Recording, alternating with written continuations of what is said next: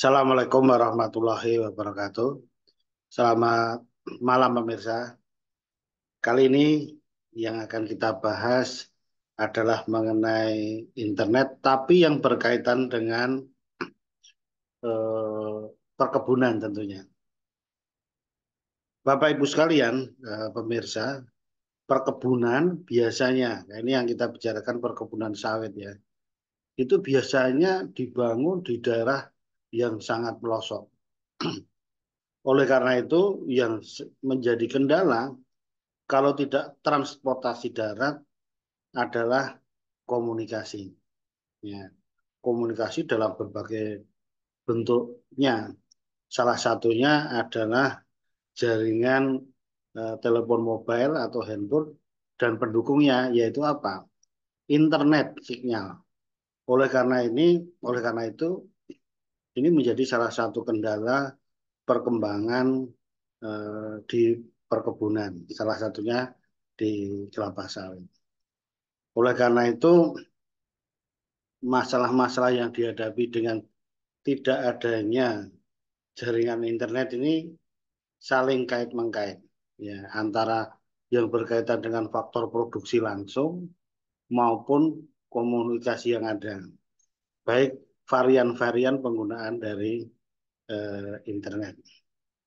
Bahkan yang menjadi masalah mencari SDM tenaga kerja supaya eh, betah, tidak turun over, keluar masuk, adalah pertanyaannya ada tidaknya sinyal internet di situ. Nah, ini yang menjadi eh, pertanyaan para tenaga kerja baru. Misalnya ditempatkan di pelosok, Pak di sana ada internet enggak? Kalau ada mereka mau. Nah karena sekarang zamannya harus yang ada internetnya untuk kebutuhan yang lain-lain ya. Eh, ada medsos dan lain sebagainya sebagai eh, bentuknya untuk kebutuhan bekerja maupun eh, untuk hiburan.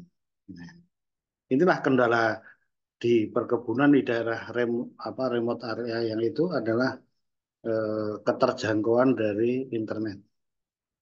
Oleh karena itu di minggu ini ada berita eh, yang apa ya trending yaitu dengan di apa ya diresmikannya operator internet Starlink nah, dari belakang ini yang di Bali yang di resmikan eh, Starlink di Indonesia oleh langsung oleh Elon Musk. Jadi ini menjadi eh, apa baru operator internet di Indonesia. Nah ini apa hubungannya dengan perkebunan ini? Ini menjadi eh, sangat erat. Karena kalau kita berbicara internet sam sampai saat ini, ini terjadi masalah. Karena apa? Internet yang sekarang ada itu baik eh, menggunakan kabel serat optik maupun BTS BTS yang ada itu masih kurang bisa menjangkau daerah-daerah yang terpencil sehingga tidak bisa termasuk perkebunan tadi ya perkebunan sawit salah satunya.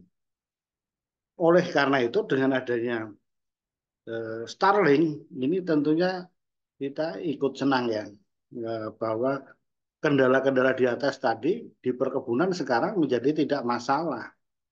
Ya, tidak masalah. Kenapa? Nah, Starlink ini dengan menggunakan apa eh, cara paradigma yang baru tadi tidak menggunakan serat optik, jaringan serat optik ya, di darat kemudian BTS BTS, tetapi dengan menggunakan eh, satelit. Nah, jadi satelitnya ini uh, beda dengan yang uh, dahulu yang punyanya Starlink ini adalah di posisi rendah di LEO uh, low Earth orbit. Jadi posisi uh, satelitnya itu jaraknya dari bumi permukaan bumi itu adalah sekitar 550 km sampai 1200 ini yang paling rendah Ya, di atasnya kan ada MEO, medium earth orbit. Kemudian yang di atasnya lagi yang zaman dulu, satelit-satelit zaman dulu dengan jarak 36.000 km itu di posisi eh, apa namanya geostationary orbit. Ya, dia eh, stationary. Jadi kalau untuk menjangkau bumi di jarak yang jauh tadi kan tembakannya karena jauh bisa menjangkau dengan cukup tiga satelit. Tetapi dengan Starlink LEO tadi membutuhkan ribuan satelit. Tetapi karena lebih dekat, makanya bisa lebih jelas, lebih cepat eh, data-data yang diberikan. Nah, ini kelebihannya. Dan bisa menjangkau, ini yang penting ya, bisa menjangkau daerah-daerah yang terpencil. Nah, sebenarnya teknologi ini sudah dimulai tahun 2015 ini. Tapi sebelumnya itu teknologi-teknologi ini sudah dipakai di ATM, telepon satelit, kemudian di kapal-kapal. Kenapa bisa mempunyai internet itu ya karena ini. Tapi waktu itu masih eh, terbatas. Nah, sekarang eh, masyarakat sudah ya, bisa menggunakan ini semua. Nah, jadi di daerah terpencil pun sekarang bisa mengakses internet dengan cepat, dengan bagus gitu. Nah, jadi ini eh, apanya bisa sampai 350 Mbps. Ini sangat tentunya sangat kencang. Rata-rata di Indonesia kan sekitar eh, 21 sampai 25 Mbps. Ini sangat luar biasa. Nah, jadi nanti di daerah terpencil tidak masalah di perkebunan itu ada uh, akses internet.